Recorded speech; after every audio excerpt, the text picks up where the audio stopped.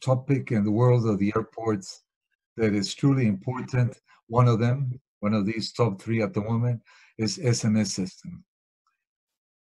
Not only due to the importance it has, but also due to the complexity that many airports, the way many airports see it. It's a topic that many times we believe it's unnecessarily complex for the airports to implement SMS. Uh, until February this year, I was CEO of Montego Bay Airport in Jamaica. And then I realized of the importance of uh, using SMS in a paused, uh, relaxed manner with proper roots, properly rooted. So I worked hand in hand with Mrs. Senora, Mrs. Daniela Roach, who's with us in this seminar. So this is why she's here. She's uh, an international level figure uh, in reference of SMS. And we have with us too Maria Elena Sandoval, who's a colleague of ACI LAC in Panama. Maria Elena is also an expert in SMS. Uh, she's done lots of work at, in the Panama airports. I respect her a lot because she knows the topic deeply. And we also have Rodrigo Oliveiro with us. Ribeiro, excuse me. We felt that he knows uh, this topic very well. I don't know you personally, Rodrigo, but we thank you very much for the fact of accompanying us. I don't want to take any any more time. I just want to reinforce the importance of SMS for the airports of the region and encourage all of you to participate actively in this webinar, even though we can speak uh, personally. But uh, without any further ado, I will uh, leave Francisco with you. He will explain how this webinar will function. I've said it in Spanish. Next time I'll read it in English. Thanks to all of you. See you later. Thank you, Rafael, for the brief introduction. As you have seen on your screens, you have been able to, to see and test the chat function and Q&A. Uh, they're deactivated for the time being. So we encourage you to send your questions to this address on the screen. And as much as possible, at the end of the presentations, uh, we hope the panelists can answer the questions. Likewise, as you have been able to test. This time we have simultaneous interpretation. On the lower part of the Zoom screen, you can uh, choose your preference language, if you prefer Spanish or English. One of the options you have is to uh, mute original audio. In this way, you will not hear the, the panelist and the interpreter at the same time. Without any further ado, I want to introduce Rodrigo Ribeiro, specialist and uh, operational uh, safety. Um, he will give us a presentation on the applicable norms on SMS. Thank you. Go ahead, Rodrigo. Hi, good afternoon to everyone. Thank you, Francisco. It's a true pleasure being with you. Thanks for the invitation. I will speak a bit um, thinking on the side of the state, on the civil aviation authorities that are the ones that maintain the regional cooperation system for operational safety aspects. It's a system that uh, uh, joins two member states, uh, additionally Cuba, and we in the system that is uh, added to the regional ICAO office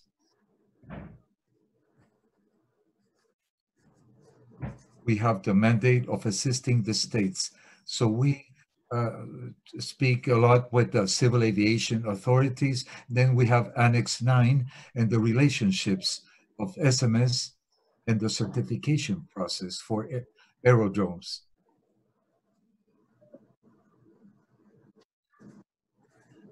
Annex uh, 19 is the document that compiles all the SARPs relative to operational safety of ICAO.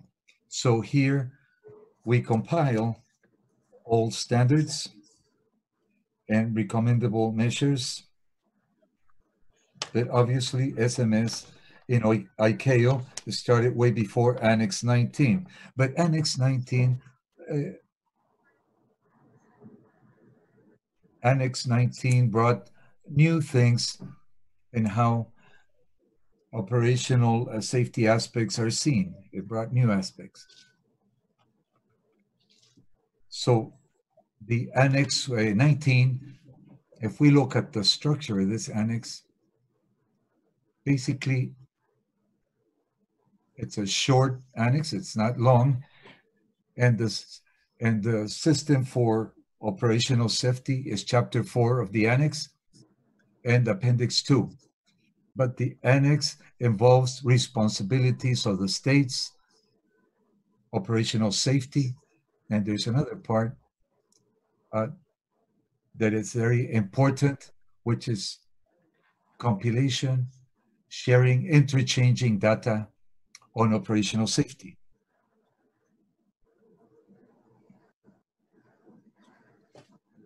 So for the states and the uh, civil, civil aviation uh, authorities who are certifying, supervising the operators of the aerodromes in every state,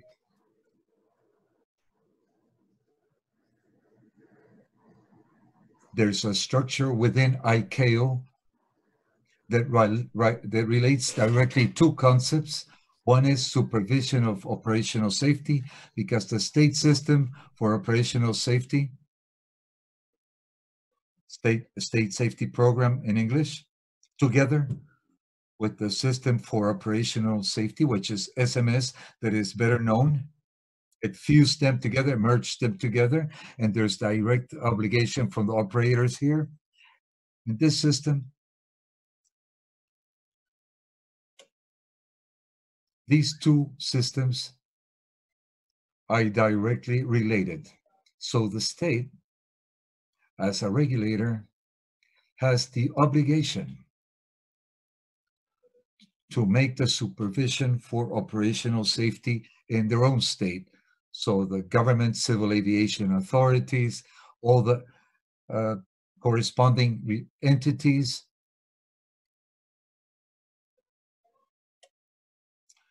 They have international commitments together with ICAO and the other states, uh, state members of ICAO and with the international agreements. So the states impose to the suppliers, uh, uh, civil aviation, that they maintain their operations with a system of operational saf safety, which is SMS. SMS. It must be harmonious with the state systems. So the strategic objectives and operational objectives of the government systems are in agreement with the regulations and rules that are part of the SMS of the different states.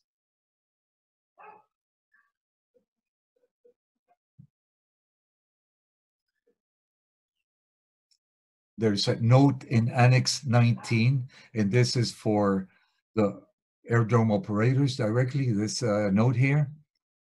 No resolution of this annex can transfer to the state the responsibilities of the provider or business operator. So even though the annex tells us about obligations of the state in supervising operational safety,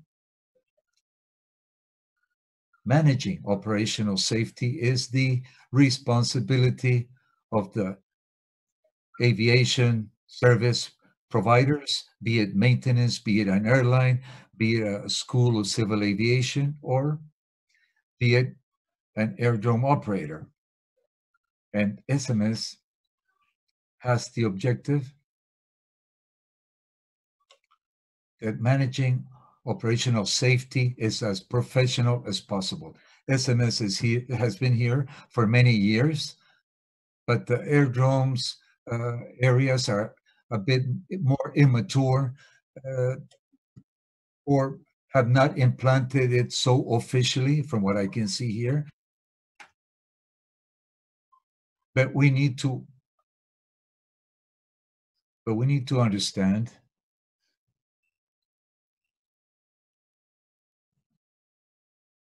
that managing operational safety is does exist. All aerodrome operators, everyone working in operational areas of an aerodrome, everyone in operations, one of the big concerns is operational safety. But SMS is a way of having a record, a methodology, a pattern on how to manage operational safety. So SMS, in order to implement Annex 19 states that there is orientation in document 9859 and that SMS of the certified aerodrome operator, and there's a link here with Annex 14. This is where it states that the states must certify their international aerodromes. SMS must be acceptable for the state and which is responsible for certifying the aerodrome.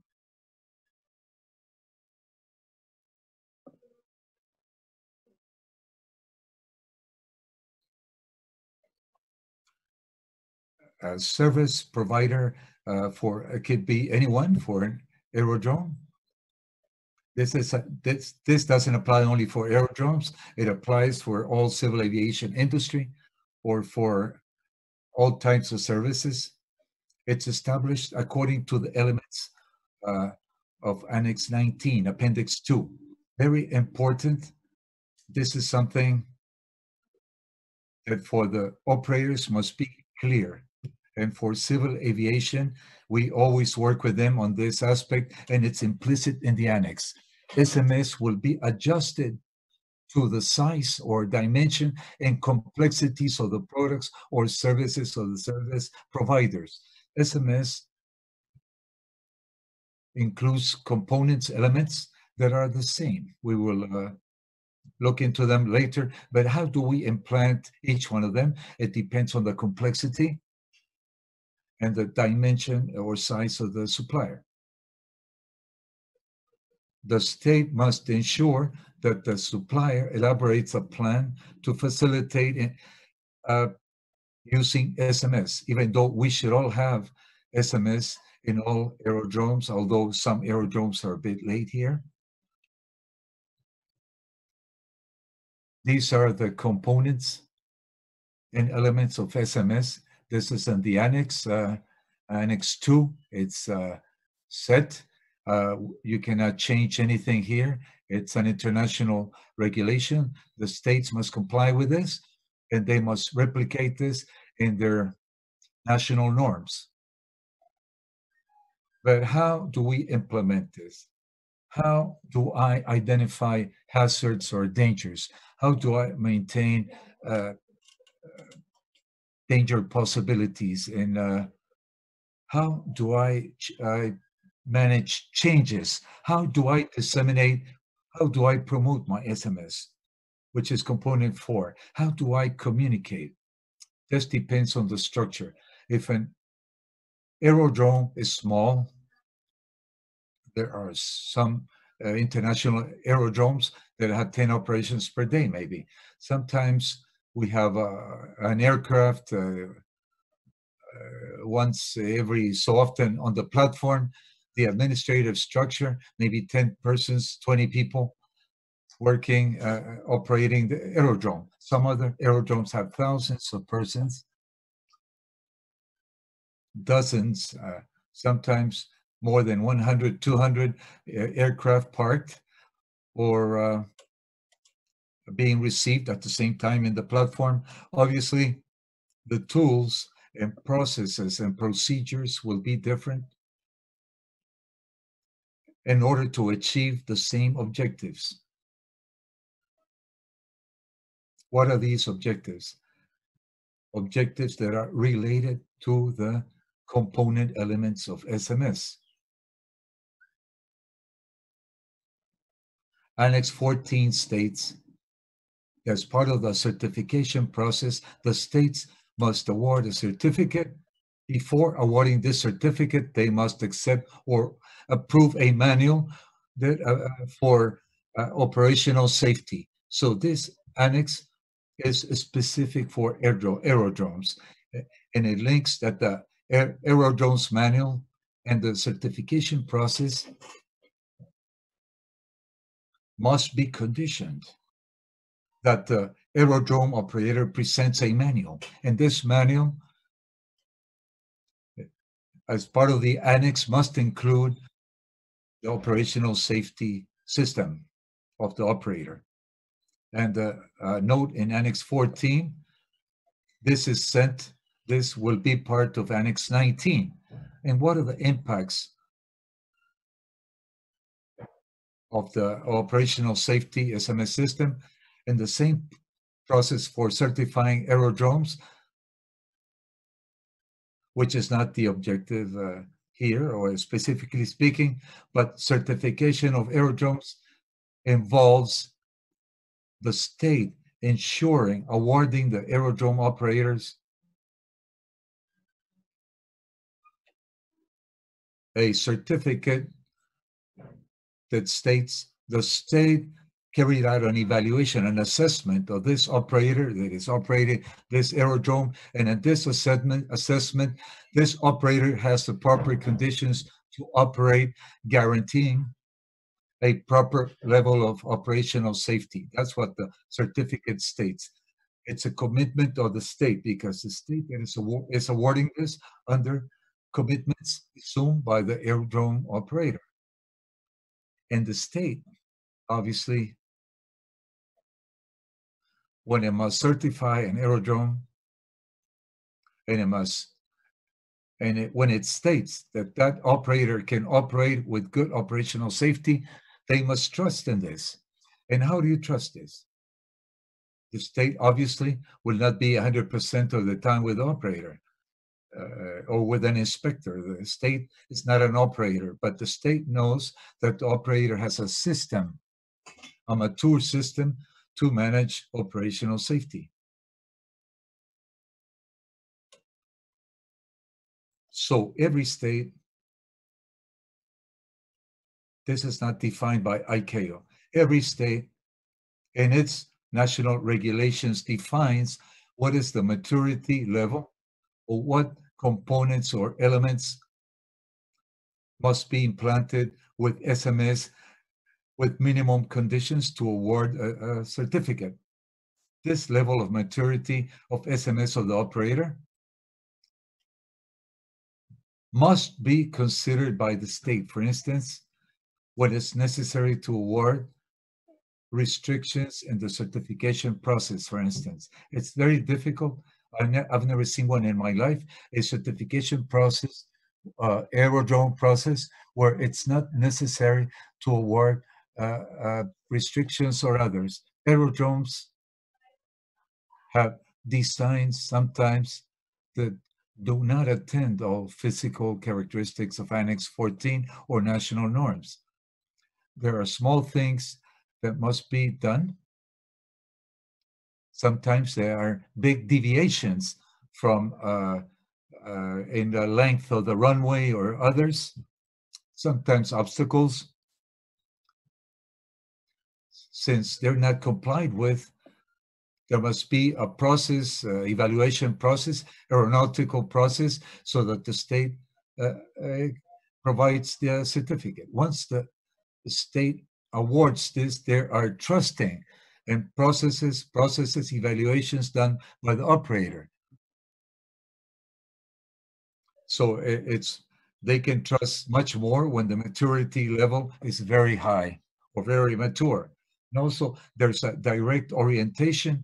This still doesn't affect the South American states or Latin American countries too much, but there's something very recent uh, uh document 98, 51 of ICAO orients the states that planning should the intensity of uh, the supervision I do on my aerodromes should be based on the maturity level of the SMS in countries like Canada or I know Canada, they already started, but others totally changed their surveillance uh, oversight from traditional into uh, something that is based in uh, uh having oversight of the SMS of the operator. The operator does its job and the state finds out whether the SMS of the operator is working properly.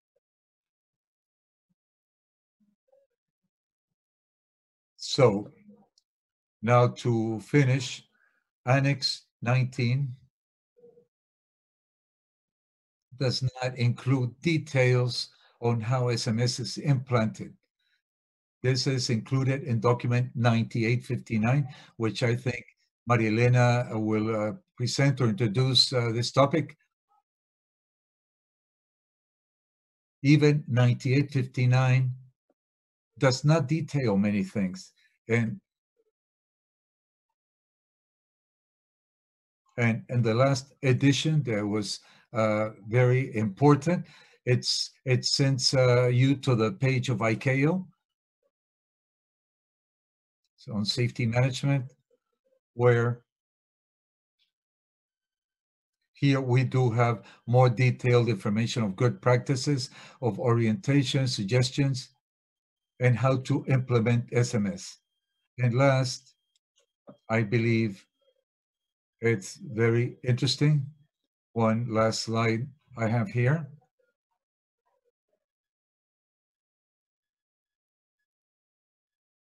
And this uh, Sky Library, Skybrary, a public library on uh, operational safety materials, civil aviation. There's a there's very good work done that was updated uh, with the last amendments of the annex and document 9859 by SM by the Safety Management Corporation Group, which is a, a assessment tool of SMS.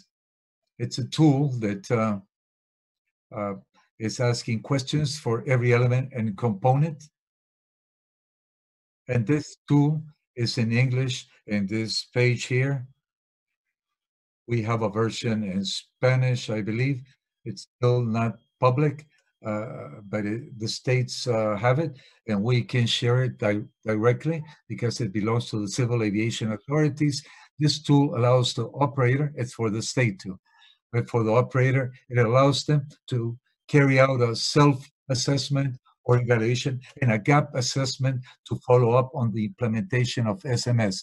So this tool seems to me a very interesting tool, and I suggest that those that don't know about this tool, we are just recently working in a certification process together with Chile, and uh, and we are uh, the we're using this tool. The operator is using it for auto or self-evaluation or assessment, even though initially we need to learn how to use it. But it does bring in lots of learning information for the operator and the authority. Well, thank you very much. This is uh, my information here, my email. Thank you very much for the opportunity. Thank you very much, Rodrigo, for your presentation. As we mentioned before, and to the benefit uh, of people that joined this webinar, maybe uh, a bit later after we had started, I remind you that the questions will be uh, answered at the end of the presentations. And please send them directly to this email address and let, let us know who should answer the question. And without any further ado, I give the floor to my colleague, Maria Elena Sandoval, expert, as Rafael just mentioned, in SMS. She will share uh, the implementation process of SMS. Go ahead, Maria Elena.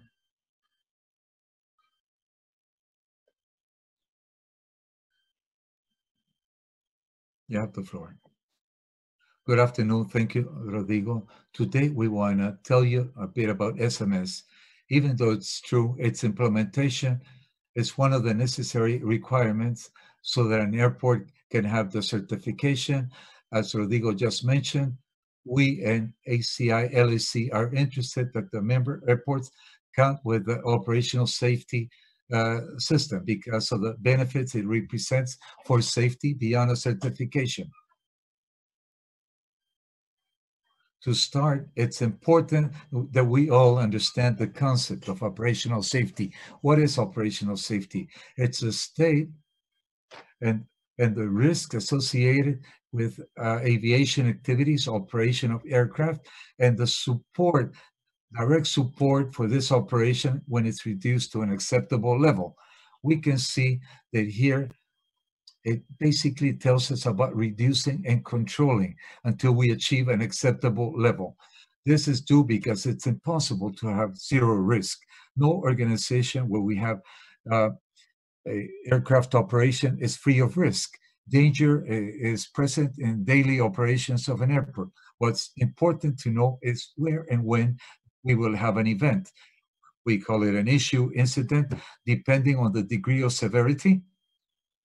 We can uh, find the answers to these questions when we implement a system like SMS correctly in our uh, operations.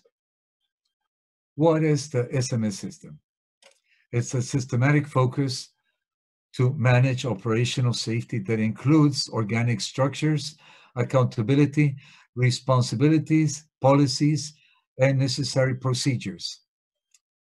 This is the SMS's definition. But truly, what do we understand by SMS? First, it's a system. Thereby, it's a it's a it's a many elements joined together that work as a whole. And it works on operational safety. So it's uh, many elements related, interlinked between them so that aeronautical operations are reduced and controlled at, at an acceptable level, a level that should be instituted by every institution. The definition tells us, tells us about the organic structures. So the system includes the different administrative units of the organization, that besides being accountable, will be will have responsibilities, will follow up on the policies. Not that we understand a bit more SMS, it's important to know what benefits it provides with the implementation besides letting us know when and where we can have an issue or a problem. Benefits of SMS. It helps us to strengthen the culture of operational safety. It allows us to understand better what happens when we interlink some components of the system. It allow, allows us to de early detection of the dangers. We can count with a database for a better decision making and uh, for safety, and possibly this will allow us financial savings, increases in efficiency, and diminishing unnecessary costs. Where is the SMS system uh, applied? SMS is applied to each one of the process, processes executed during airport services, including the services we have outsourced, like constructions within the aerodromes, maintenance that is done, etc. It's necessary to count with the definition of the system and the activities before starting with planning SMS. In this manner, we can detect with greater ease the dangers or hazards we can have during each activity. All airports can count with SMS. The answer is yes. And probably, if I ask all of you, if you have an SMS in your airport, your answer will be yes. So that a SMS system is effective and can comply with its objective, it's necessary to have the following elements. One, commitment of the superior administration CEOs, directors, managers, etc. If the person that is heading the organization is not fully committed with operational safety, if they're not convinced that the system is uh, their life insurance, there is a 95% or up to 100% possibilities that the system will fail. too. culture and operational safety. Like all culture, this is a joint uh, knowledge, ideas, uh, habits that are characterized.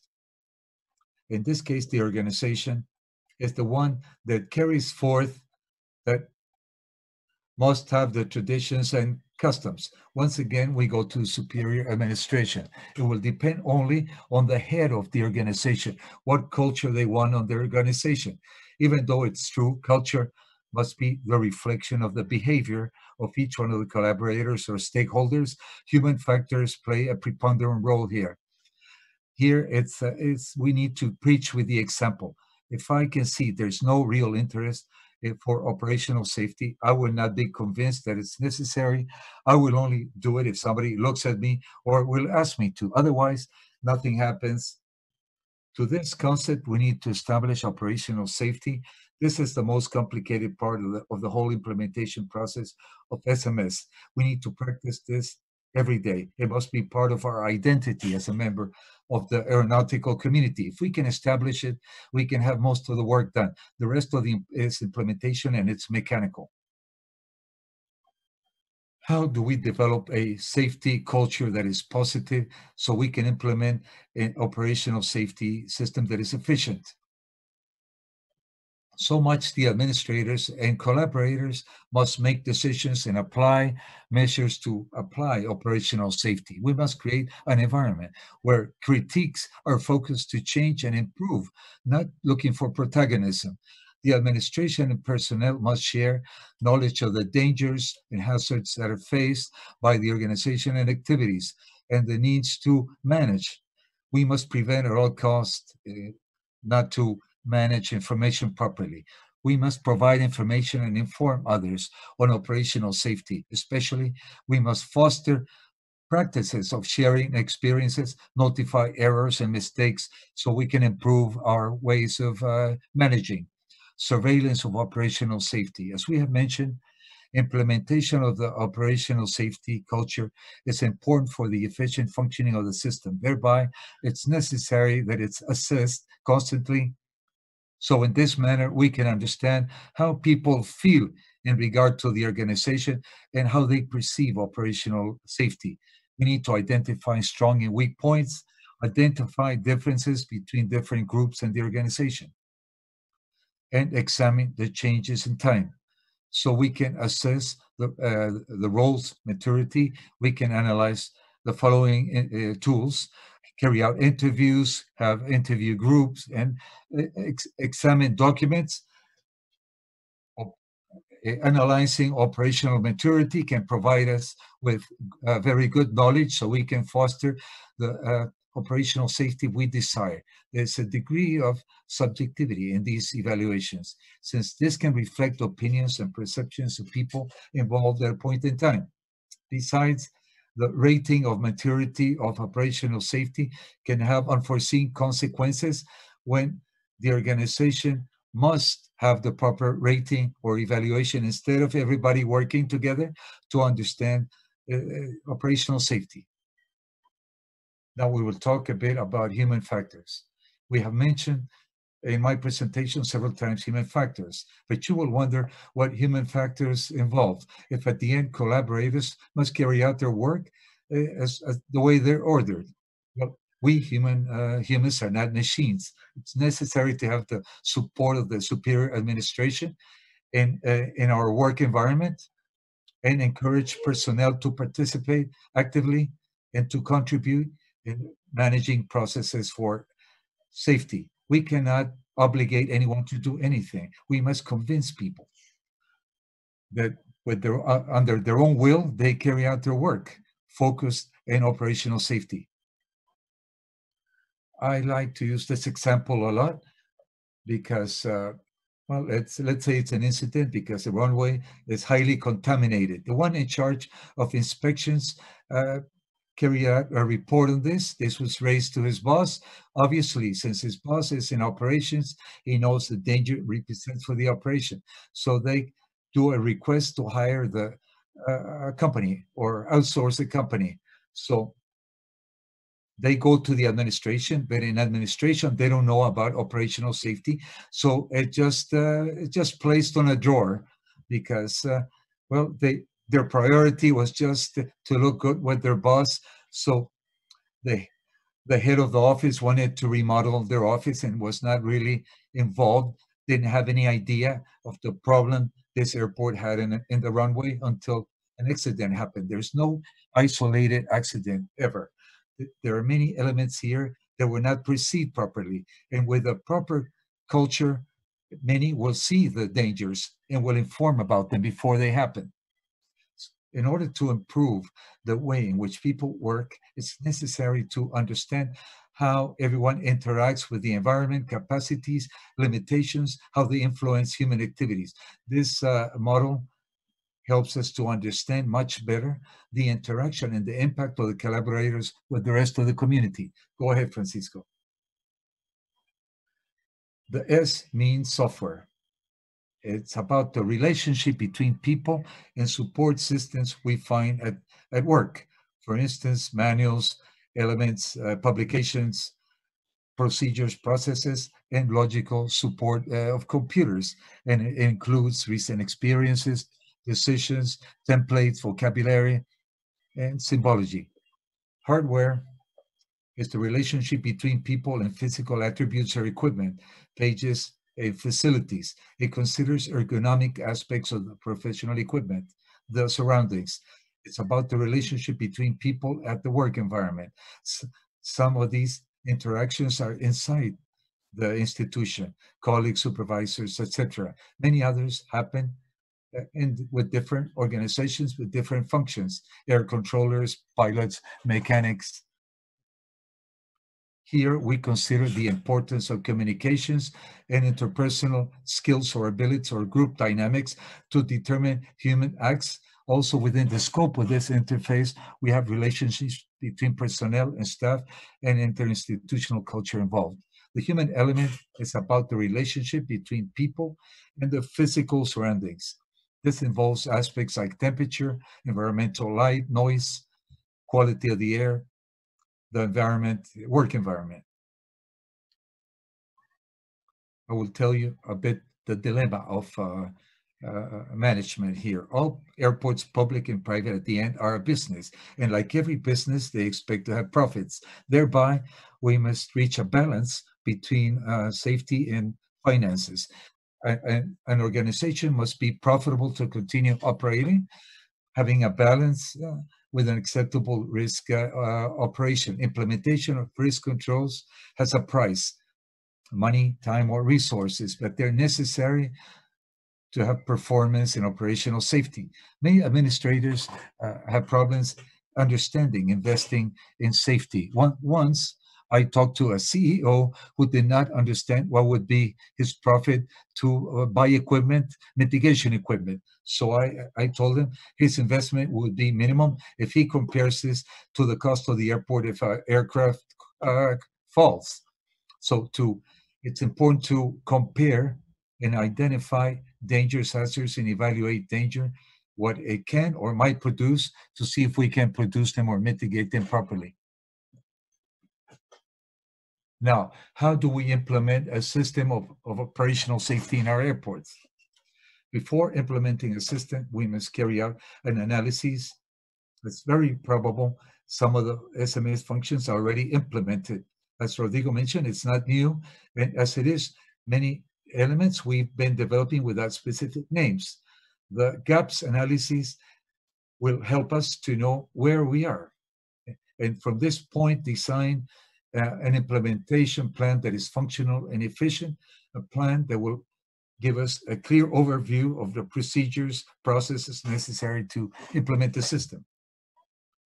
The way Rodrigo mentioned in his presentation, SMS is composed by four components and elements. The first one, policy of operational safety objectives. To reflect the commitment of the organization in regard to operational safety, the policies must include the policies to continuously improve operational safety to promote an operational positive culture within the organization. It must comply with the norms, requirements applicable. It must provide all necessary resources to deliver a product or safe service. It must guarantee that operational safety is a is the main responsibility of all uh, administrators and last guarantee that we guarantee and implement at all levels of the organization. Operational safety policies must reference the system of operational safety. It's the responsibility of the administration to communicate the policies of operational safety to, to the whole organization, to make sure that everybody understands it and they all work together focused on it. The objectives of operational safety must define what we want to obtain with the implementation of the uh, management of the system. They must be brief, statements and high level statements of operational safety of the organization. They must include the most important risks, obligation of accountability and responsibilities on operational safety. The, uh, the executive office, they have the responsibilities for the final responsibilities.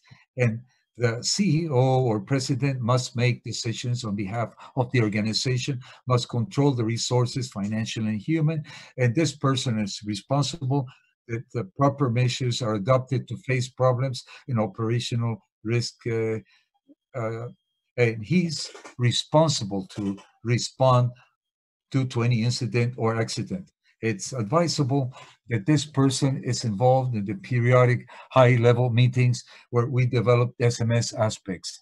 This will allow him to revise the uh, operational safety objectives to observe uh, the performance and the achievements of the objectives. We need to adopt timely operational safety aspects. We need to establish the obligation to be accountable with the administrators in the responsibilities, performance, and implementation timelines of operational safety. And all staff must perceive this. The, the executives or the CEO is interested in this. This the CEO or top executive doesn't participate in the daily problems or operations at the workplace, but he must make sure there's a, there's an appropriate structure. So he must delegate some of the functions to uh, some person or a group of persons the following accountability aspects. The following aspects he cannot delegate to anyone. He must ensure that operational safety policies are appropriate and communicated. He must ensure the proper allocation of resources, financial uh, and others, establishing acceptable limits of operational safety risks and allocation of resources for proper controls. Also, he has the obligation of being accountable in operational safety. He must provide enough resources for a proper or a good SMS. He must propose an operational safety that is positive. He must establish a proper SMS. He must establish operational safety objectives in the organization. He must ensure that SMS is properly implanted and, and works according to the requirements. And last, on the continuous improvement of SMS, all obligations of accountability, responsibilities, attributions must be established in the manual of SMS communicated to the whole organization. The obligation of accountability and operational safety and the responsibilities for each administrator are holistic components on the plans appointing key personnel of operational safety. The person that carries out operational managing functions is responsible for the performance of SMS and for the services of operational safety in the other departments of the organization. The manager of operational safety advises the proper executives and the line managers in managing operational safety and is responsible for communicating operational safety problems to the uh, organization and to external members. His functions are to manage the implementation plan of SMS and appoint the proper executives to facilitate, identify uh, risk analyses, to control corrective measures, and evaluate results, to provide periodical reports on operational performance of the organization, to maintain records of operational safety, to plan and facilitate training and operational safety, to provide independent counsel advice in operational safety matters, to control con concerns, hazards in the aviation industry and its impact perceived in the operations in order to deliver proper services. He must coordinate and communicate on behalf of the executive, uh, proper executives with other state entities on topics related with safety. The manager of operational safety should not be involved directly in delivering products and services, but he should have practical knowledge of all of this. The Committee of Operational Safety we must establish operational safety committees that support the functions of SMS throughout the whole organization. SRB is the Operational Safety Committee at the highest level. It's known as, as the Operational Safety Council. It's integrated by the top executive and superior administration. Participating as advisor, the manager of uh, operational safety. This uh, council deals with operational safety aspects. It allocates resources and looks into the performance of the organization. SRB controls the efficiency of SMS, the timely adoption of any measure of risk control or operational risk. It, it looks into operational performance as compared to the policies of the organization, general efficiency of the strategy of mitigation, the efficiency of the operational safety managing processes like institutional priorities and promotion of safety. The SAG are the action groups of operational safety in charge of implementing operational safety strategies elaborated by SRB. Normally, they're concentrated on the day-to-day -day operations. The SAG supervise operational safety aspects within the operational areas and guarantee that appropriate actions are carried out. They supervise operational data and they identify the implementation of uh, proper strategies. They guarantee that uh, information is provided to the staff and they look into operational changes. They coordinate the implementation of corrective measures related with operational safety controls. They guarantee that these measures are made quickly. Another very important element is the coordination. A, a plan uh, under uh, an emergency, be it public health, natural disaster, or an air disaster, determines the measures that the responsible staff must adopt. Most of these cases will demand coordinated actions between different organizations possibly with other, other air suppliers and external organizations like emergency services. Coordination of planning of uh, response to emergencies must be led by SMS that will align the plans of everybody involved. The last element of the first component is documentation of, of the SMS. The manual of SMS should include a detailed description of policies, procedures, of the services, including policies, objectives of operational safety. Additionally, SMS also uh, comprehends compilation and maintenance of operational records that support the existence and continuous functioning of the system.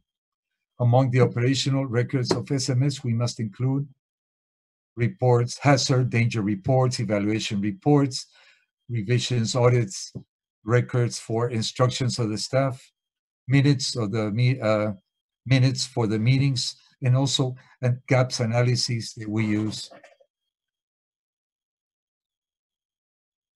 The second component is risk management or operational safety. The process for uh, risk management of operational safety involves identifying dangers, identifying and mitigating these risks. It's important to understand the system and its uh, operations, for which we must count with a detailed definition of the system and interfaces. The identification of danger is the first stage of the operational safety risk management.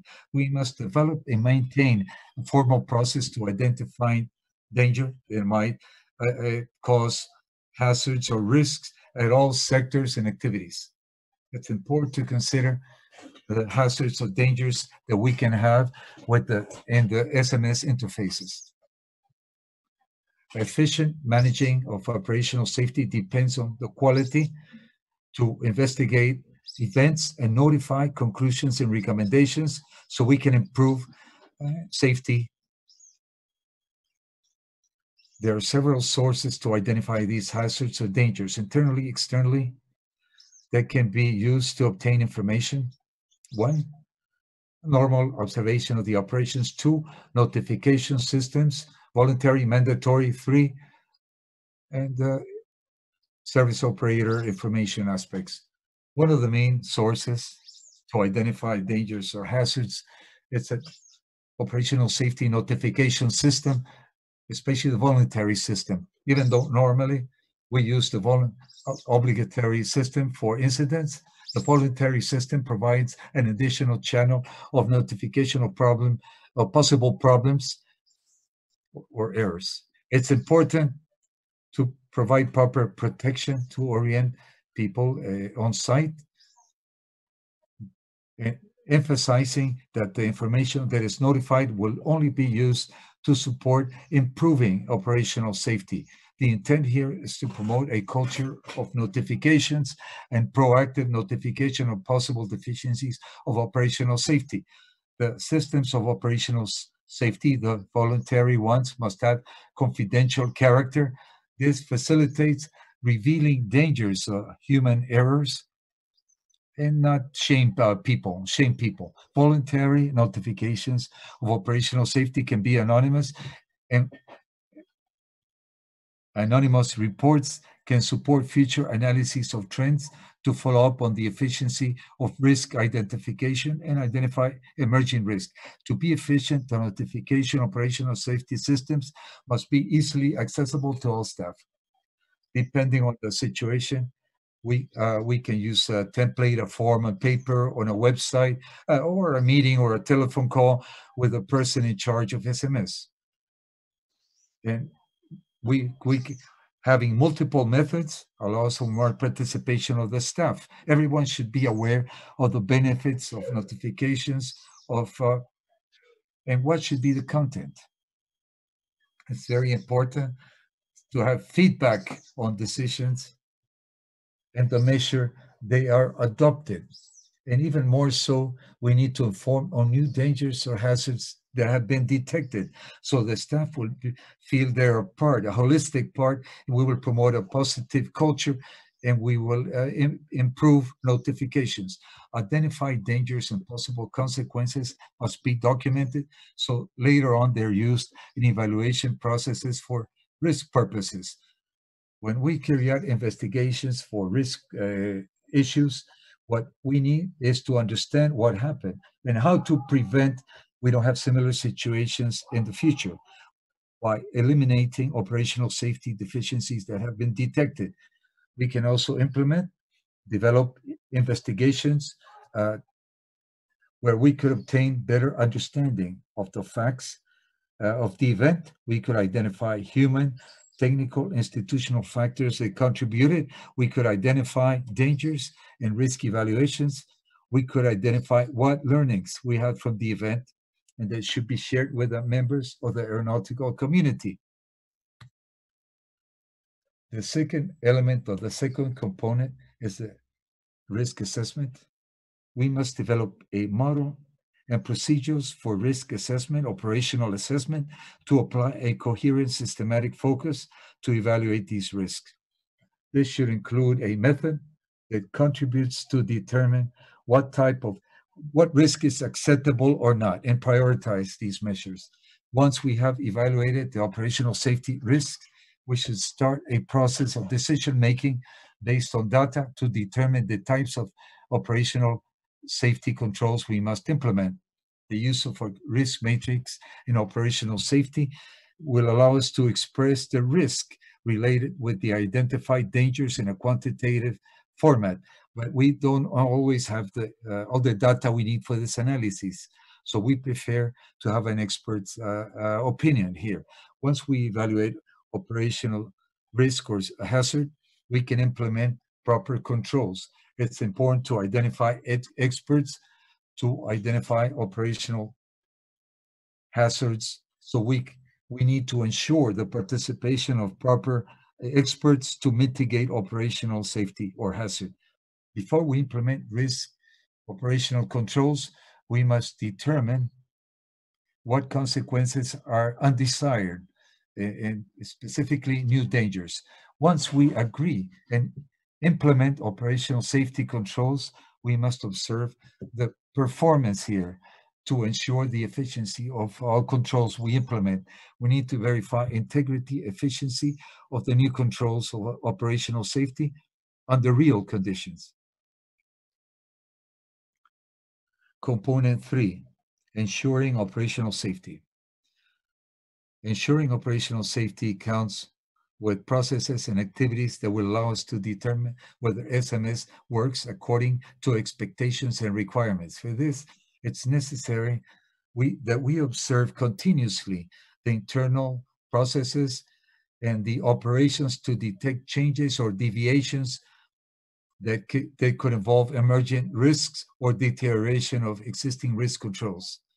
Observation and measuring uh, performance and operational aspects, to verify performance and operational aspects, and to validate efficiency of risk controls, it's necessary to use a combination of internal audits and observe performance indicators, benchmarks. It's important, this is important because our application doesn't always reach what we expected. Internal audits will be of great help since they will provide the responsible entities and superior administration information and comments on the information on compliance of the regulations and, and policies and procedures, efficiency of risk operational safety controls, efficiency of corrective measures, and efficiency of SMS. Managing changes. Changes can affect SMS. Besides new dangers and operational risk could be introduced involuntarily in an operation with new changes. We should identify uh, these aspects to control them in time. For as change examples, we have the expansion or contraction, institutional expansion or contraction. Many airports are undergoing this because of COVID. Uh, entrepreneurial improvements that can have consequences these can cause changes to the processes, systems to provide uh, services and products, changes around the organization, changes around the interfaces of the SMS as external organizations, normative external changes. We can mention too uh, constant uh, constructions and the aerodromes. Here we would have many, many dangers that we must evaluate before we execute them continuous improvement of the SMS. Continuous improvement of SMS is supported by the activities of uh, to ensure operational safety. So we must verify and follow up on internal audit processes. We must recognize that maintenance and continuous improvement of SMS are permanent activities, and the organization is constantly changing. Observation processes of performance and internal audits contribute to the capacity to achieve continuous improvement and performance in operational safety. Continuous observation of the SMS and risk controls and support systems guarantee that the process operational safety achieve the desired objectives and performance in operational safety. The fourth and last component is promoting operational safety. Promoting operational safety encourages a positive operational safety and contributes to reach operational safety objectives with technical capacities, capabilities that improve with continuous uh, capacity building, promotion of operational safety, complements policies, procedures, and uh, of the organization, providing values to support the activities of an organization. In regard to instructions, uh, capacity building, the manager is responsible to guarantee a proper operational safety capacity building. He must provide appropriate information and pertinent information to the specific safety problems the organization has. To, he must count with trained, capable staff, competent staff to comply with his functions in the SMS framework. This is a commitment of the administration with the SMS. The instruction program must include initial instructions, periodic instructions to keep proper communications. Periodic instructions should be concentrated on the changes that are introduced in the policies, processes, procedures of SMS. It should emphasize specific problems of uh, or obtained uh, teachings. Communications of operational safety. We must communicate procedures, objectives of SMS to all staff. This can be done through uh, notifications, bulletins, or instruction uh, notes. The manager of operational safety must guarantee that the capacity building from research, investigation, and practical cases, internal and external, and from other organizations, that this is all disseminated to all the staff. Thereby, communications for operational safety is in order to guarantee that the staff is fully aware of SMS and, and the critical information is being transmitted and awareness is being raised on operational risks and corrective measures. And communications will provide new information and they will promote a culture of positive operational safety and encourages the personnel to, to uh, mention dangers and hazards. Activities for promotion should be done throughout the life cycle of SMS, not only at the beginning. It's recommendable to carry out periodically activities where we involve all the airport community. Uh, we should have tours of compiling information, uh, check into neighbors, look into uh, different dangers around the airports so that collaborators feel identified and the myth is broken that this will not happen in my airport. Safety is everybody's uh, commitment. Thank you.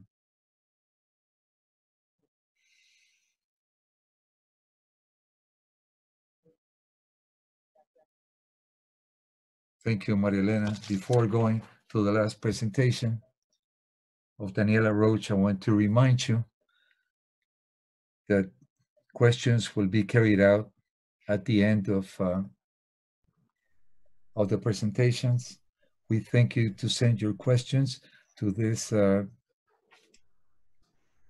to this address on the screen. Next, Daniela will give us a practical example of uh, implementation in an airport in Jamaica. Go ahead, Daniela.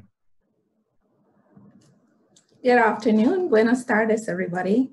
It is my pleasure to give you today a little background of our experience here in Montego Bay with the implementation of SMS and to just tell you that, you know, we had a, some hiccups and some bumps, but just to give you some lessons learned based on what our experience was.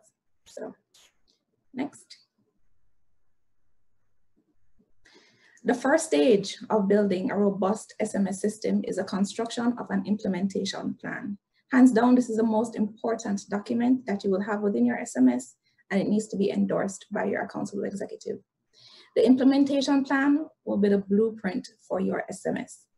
While you ensure that what you do follows the guidance and regulations, so it's clearly outlined in all the documentation and your regulatory requirements, it is important to remember how your SMS functions is based on the complexity and the uniqueness of your individual airport. So there's no cookie cutter for an SMS. Next.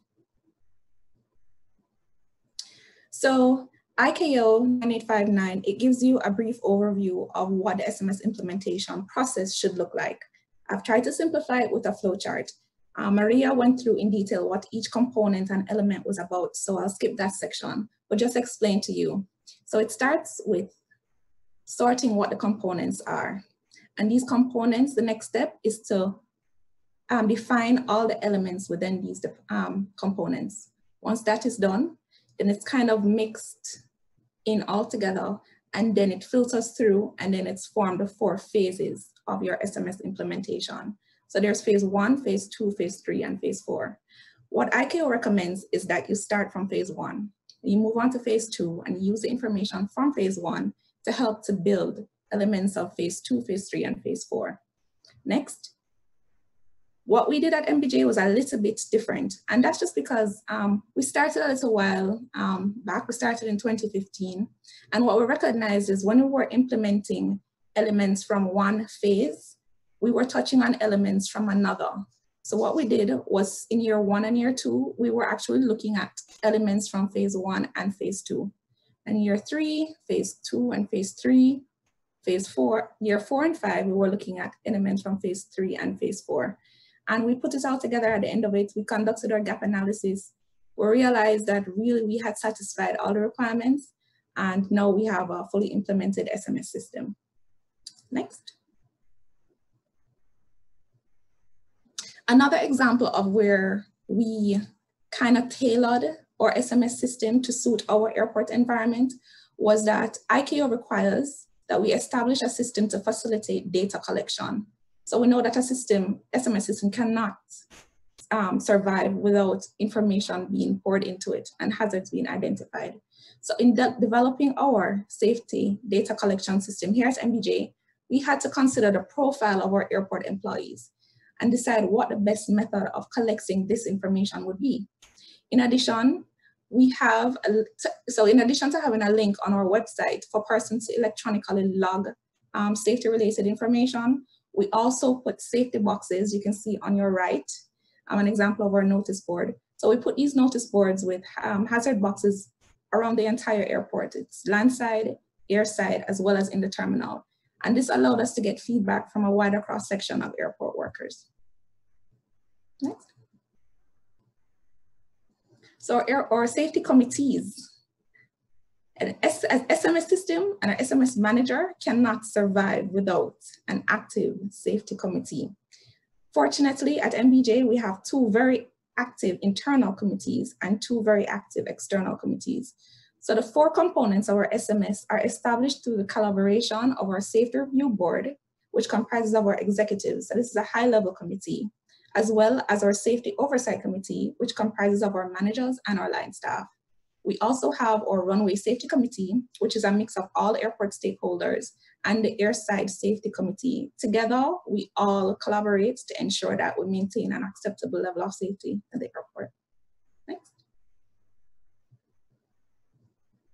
So I'll go through quickly the four components and what our experience has been. So the safety policy, it states our commitment to achieving an acceptable level of safety performance. The challenge here for MBJ was making sure that we declared a promise that we could actually keep based on the resources that you had. And also ensuring that we met the regulatory requirements. My advice would be to keep it as realistic as possible. What you declare here, so what you say is what you will be audited against. Next. The next component is the safety risk management. So our initial challenge was associated with our risk management process was the execution of corrective action. Now, a lot of you are actively involved in SMS and you know this challenge. So what we found helpful was to create both short-term and long-term corrective action plans and then we monitor for the effectiveness at the completion of each stage. So we phased in the corrective action and that helped a lot. Next. Safety assurance, which is the heavyweight section of your SMS. Internal and external audits have helped provide guidance and improve our system. Our management of change was the MOC procedure, ensures that we consider the impact of these changes through hazard identification and risk assessment and implement the necessary measures to ensure that we maintain an acceptable level of safety. And to your right is an example of our management of change procedure. And we've put it in a flow chart just so that it's simple and this information is shared with all our airport employees, as well as it's located in our manual, of course. Next.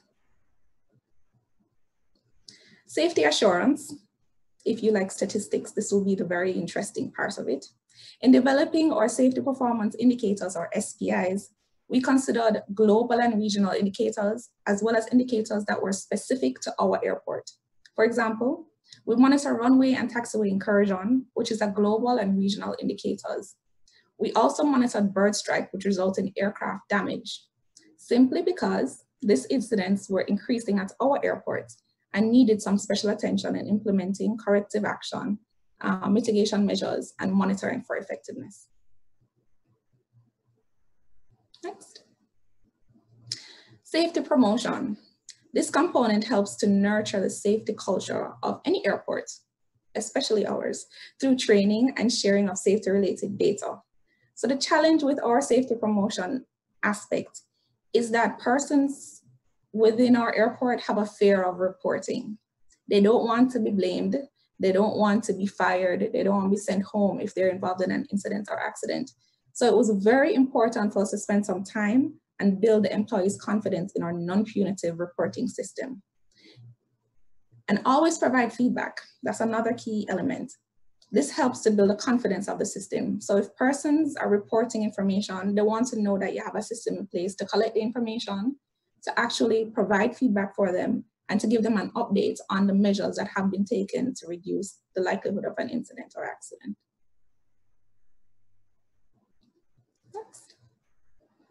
Our Safety Week, which was extremely exciting, is one of MBJ's annual promotion activities aimed at increasing safety awareness among our airport users.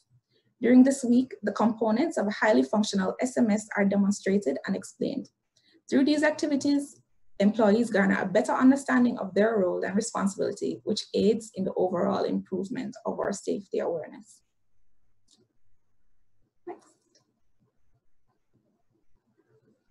As I said in the beginning, we did have a lot of hiccups and there have been many, many challenges.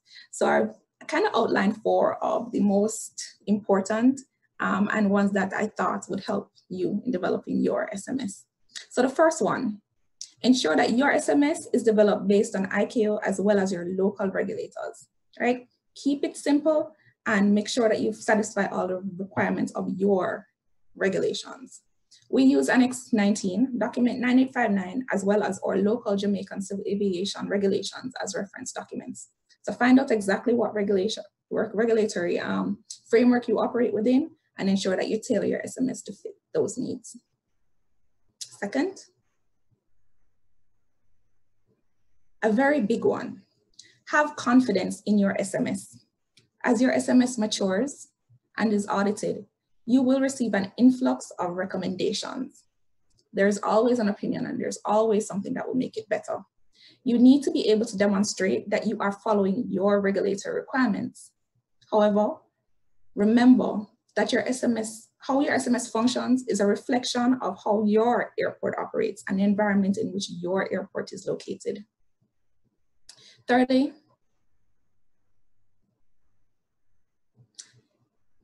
a big one, your SMS will never be perfect. In my opinion, I think airports delay declaring a fully implemented SMS system because they believe it's not yet perfect.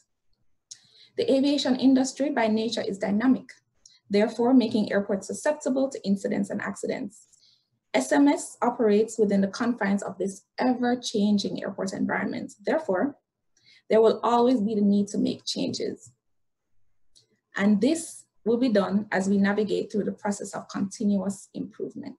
So it's okay to declare. It doesn't mean that it will be perfect. There'll always be room for improvement.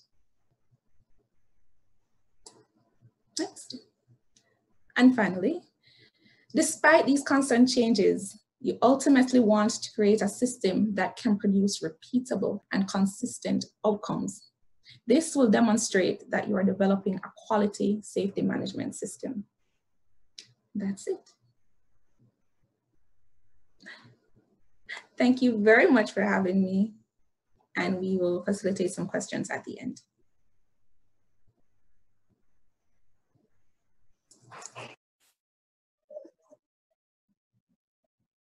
Thank you very much, Daniela, for your presentation, a practical example how uh, learned lessons were implemented.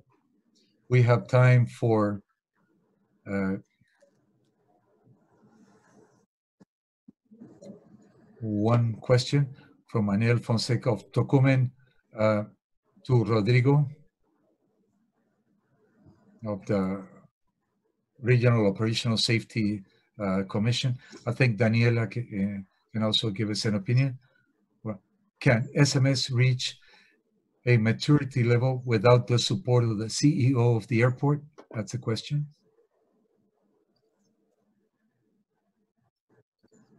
Please open up your cameras. Would you like me to go first? Uh, well, well,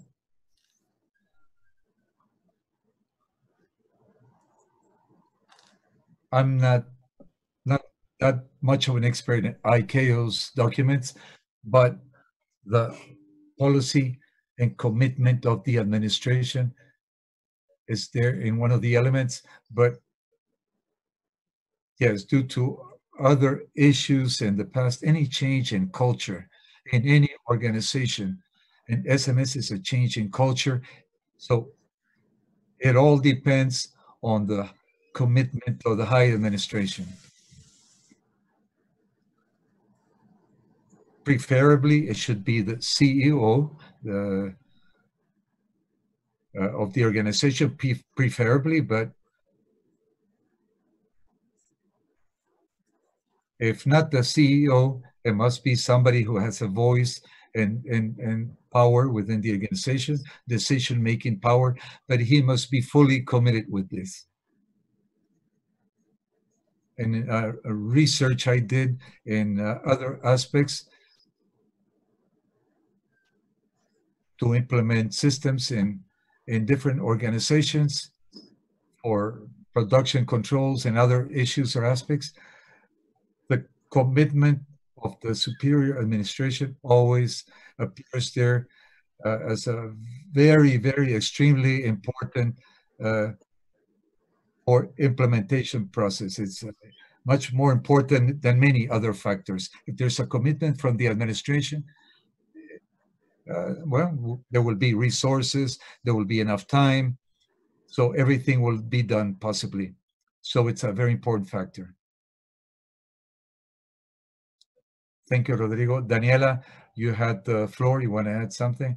Uh, sure, I agree. Sure, I agree with Rodrigo. It um, SMS does not operate within a silo. It really does take a team effort. And like any other team, the CEO is the leader.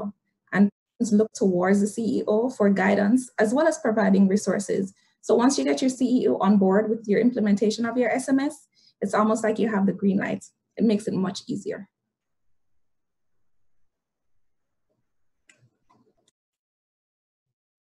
Thank you, Daniela.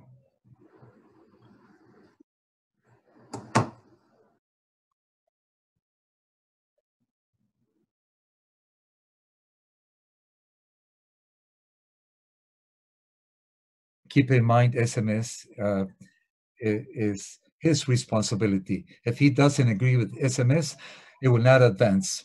At the end of the day, that there is not a single accident or incident or issue. In the best of cases in an airport, this will depend exclusively on him. And if something happens, he's fully responsible. So if he's not totally committed, there's not much to do here. Perfect. Uh, Maria Elena. And uh, last question for Rodrigo.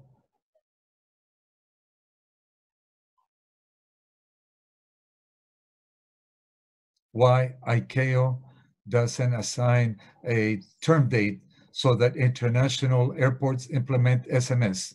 It's been more than 10 years for this requirement.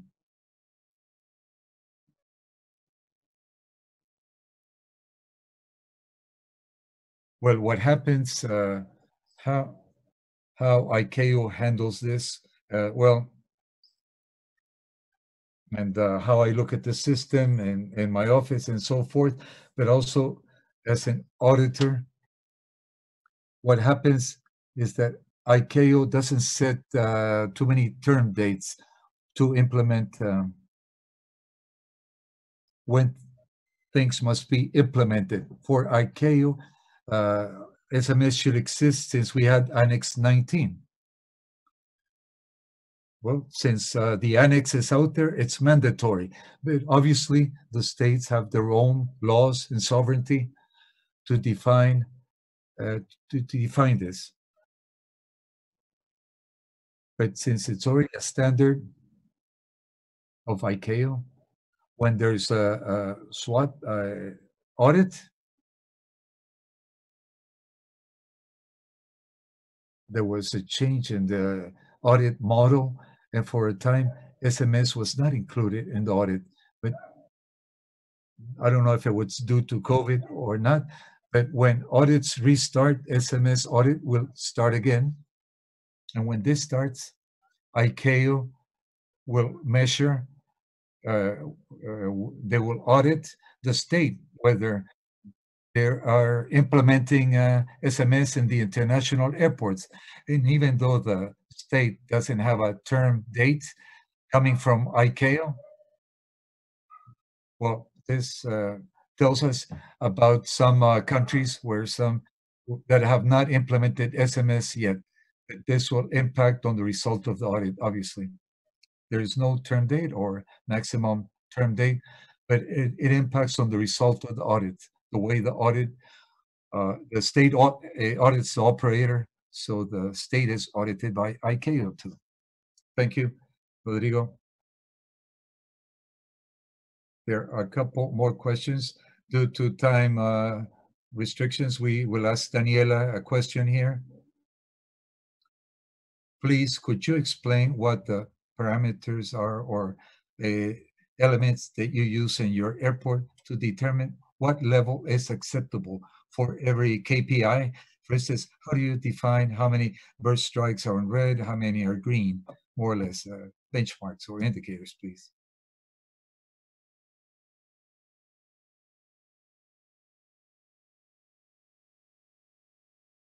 Your mic is muted, Daniela, please. Your mic is muted, Daniela. Sorry, thank you. So we use the guidance from ICAO and the matrix that's located in 9859. And we look at the alert level criteria and we follow those parameters. So if in one month, it's above the um, incident rates that is um, declared unsafe, then um, that's when we would put mitigation measures in place. If it hits our alert levels for two consecutive months, um, that's when we, we put another parameter in place to implement mitigation measures. And if for three consecutive months um, it hits the first SDI, then that's when we put in our um, mitigation measures. So we follow those parameters.